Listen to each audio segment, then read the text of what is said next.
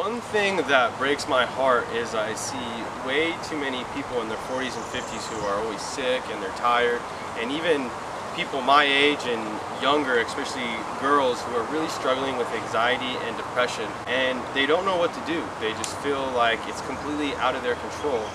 And the first thing that they do, of course, is they go to a doctor who is supposed to be, their words are supposed to be fact. And the options that they're giving to them is just pills, which really isn't helping, it's just hurting. And I'm here to give you a better way, um, a more natural way that is more accustomed to what our bodies are naturally designed to do.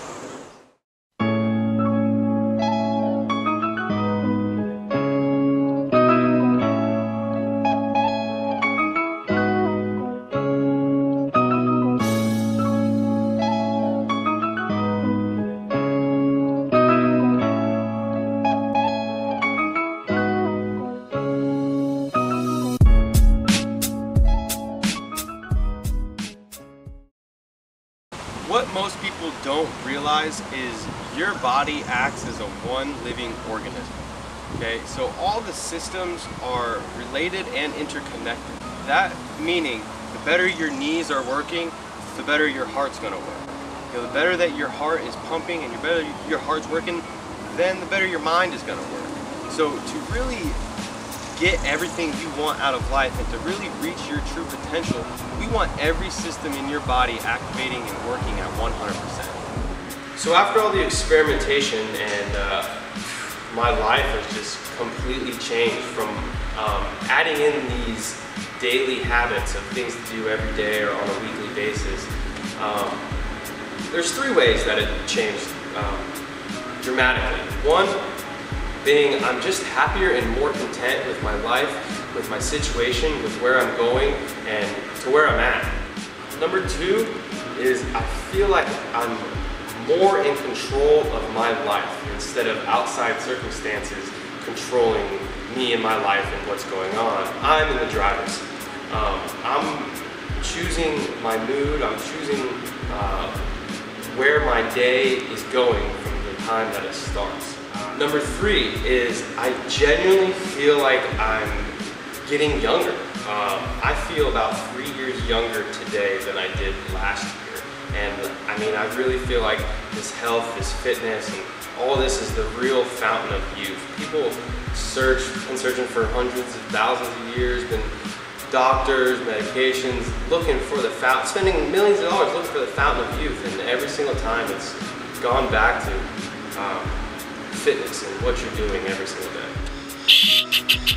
And I know there's so many of you out there who are going through something similar where you're just feeling like you're not getting all that you could be getting out of this life and you're wanting a little bit more, feeling a little bit better, waking up healthier, stronger, happier. Um, and that's why I created this program. And if you're looking for more information on it, I'm going to leave some in the description below. So just check it out and leave some comments and let me know what you think. And also there's more information on www.thewillgrant.com.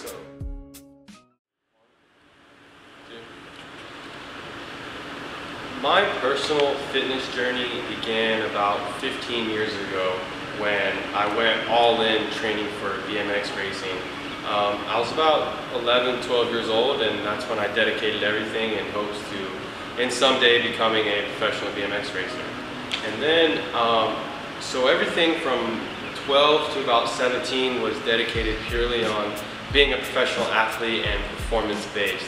When I just turned pro, I was 16, just a few months later, I ended up tearing my ACL and uh, my PCL, MCL, both my meniscuses, and um, BMX racing took about a three-year break.